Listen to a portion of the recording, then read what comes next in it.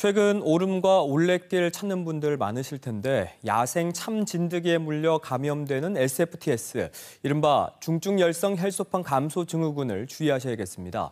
제주에서 올해 첫 SFTS 감염 사망자가 나왔습니다. 고민주 기자입니다. 관광객과 주민들이 많이 찾는 제주 만장굴 주변 산책로입니다. 산책로 안 우거진 수풀을 하얀 천으로 훑자 작은 벌레가 눈에 띕니다. 중증 열성 혈소판 감소 증후군 SFTS를 옮기는 참진드기입니다. 하얀 천으로 훑었더니 짧은 순간에 진드기가 여기저기 달라붙습니다. 인근 오름 등산로 입구엔 참진드기 예방 수칙 현수막이 설치됐습니다. 사람들이 많이 찾는 4월부터 11월까지 진드기 활동이 왕성하기 때문입니다. 곤충 기피제를 담은 분사기까지 설치됐습니다. 풀이 우거진 곳을 지날 때는 진드기 기피제를 뿌리고 출발하시면 이게 냄새로 인해 그 진드기 감염병 예방에 도움이 됩니다.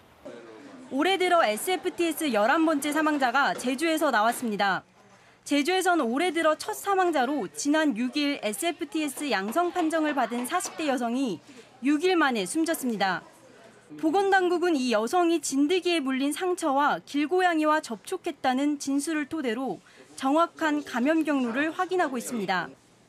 문제는 예방 백신과 치료제가 없다는 겁니다. 최근 3년 동안 SFTS 감염 환자는 전국적으로 608명, 이 가운데 103명이 숨져 치명률이 17%에 달합니다.